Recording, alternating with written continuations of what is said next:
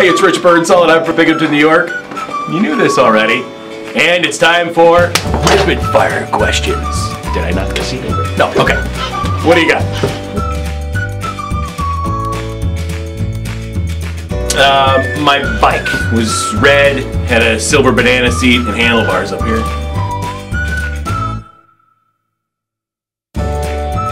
A plumber. Oh, I got left at Applebee's up up top, and I got broke up with. She walks out, and I'm just sitting there with the soda. Waitresses come over, and they're all like, "Oh, hi." Ten times worse.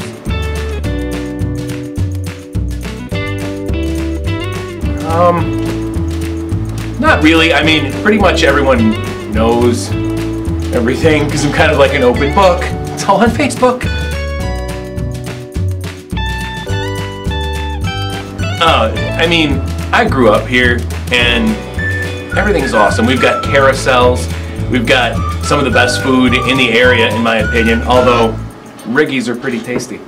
And, um, I don't know, the Spiedie, everything around here. Walmart's interesting in the middle of the night.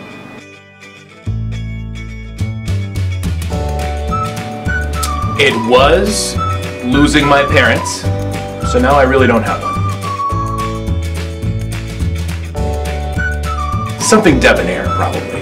Like uh, 007-ish. Brosnan, maybe. Wow. Probably that little plug. It's called a go anywhere or go to plug. You plug it into the bottom of your phone and it turns it into a real USB. You can plug a mouse into it, a keyboard, a soundboard, anything you want into the bottom of your phone. And by the wave of her hand, we're done! Thanks!